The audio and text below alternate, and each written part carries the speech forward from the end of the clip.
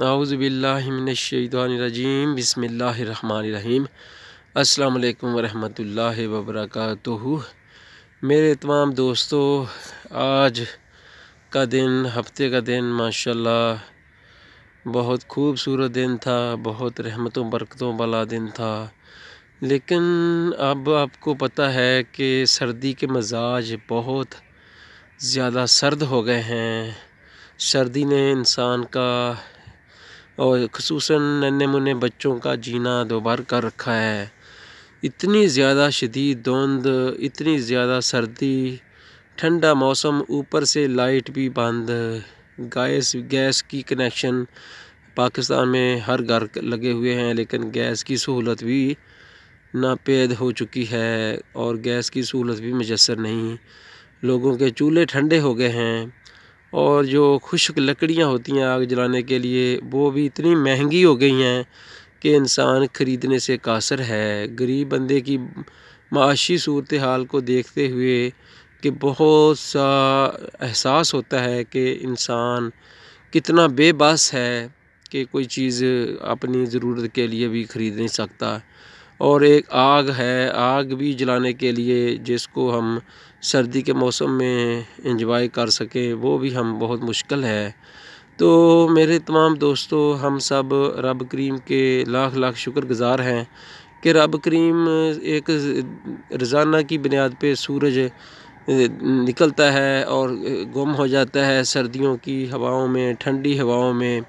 तो ये सब मेरे रब करीम का लाख लाख शुक्र है। इसी बुनियाद पर रब ताला का शुक्र अदा करना चाहिए कि उसने एक रोज़े रोशन नया दिन निकाल देता है। इंसान फिर भी ना शुक्र है कि रब तला का शुक्र अदा नहीं करता। मेरे तमाम दोस्तों, हम सबने इस मुल्क में रहते हुए, दीन इस्लाम पर और दीन इस्लाम पर रहते हुए, हमारी मौत भी आए तो दीन इस्लाम की ज़िंदगी पर ही मौत आए। इसलिए हम तमाम मुसलमानों से अपील है कि इसमें मैं भी खुद शामिल हूँ कि हम अल्लाह पाक का जितना मुमकिन हो सके से अल्लाह का शुक्र अदा करते रहें ताकि हमारी ज़िंदगी और आपकी ज़िंदगी सुरखरू हो जाए, क्योंकि अल्लाह का शुक्र अदा करने से ही हमारी आकबत बेहतर होगी और हम सुरखरू हो जाएँगे। तो इन ताला अल्लाह खैर करे, रब के हजूर खैर मांगेंगे तो खैर मिलेगी। अल्लाह पाक इस बात पर भी नाराज़, सख्त नाराज़ होता है कि रब करीम कहता है कि मैं गफूर रहीम ज़ात का मालिक हूँ, कौन फ़ायाकून ज़ात का मालिक हूँ। इतना रहीम करीम मालिक हूँ कि अगर कोई इंसान मुझसे माफ़ी मांगे तो मैं उसकी माफ़ी कबूल करने के लिए हाज़िर हूँ। तो लेकिन बंदा फिर भी ना शुक्र है कि ना शुक्र है, इतना ना शुक्र है कि रब करीम के हजूर माफ़ी भी नहीं मांगने के लिए हाथ उठा सकता है।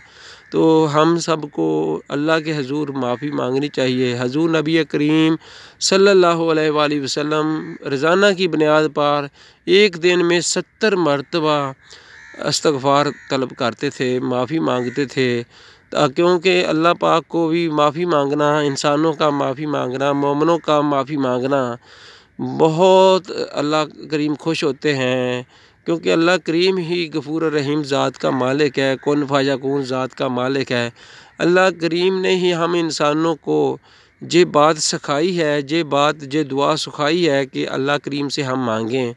रब्बा नकफिल वाल वाले दैया वलिलमोमिनीना वलिलमोमिनात यौम यकुमल हिसाब।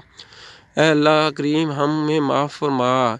और क़्यामत के दिन भी हम पर माफ़ी फरमा, रहम फरमा अपनी तरफ़ से। ये दुआ हम सब मुसलमानों को ज़रूर मांगनी चाहिए और अल्लाह करीम का लाख लाख शुक्र अदा करना चाहिए कि हम प्यारे नबी सल्लल्लाहु अलैहि वसल्लम के उमती हैं और हमें अल्लाह करीम नेकियों का शरफ़ अता फ़रमाए। मेरे तमाम दोस्तों देश प्रदेश में बसने वालों अब इस वक्त मगरब से काफ़ी मगरब की अज़ान हुए भी काफ़ी टाइम हो चुका है।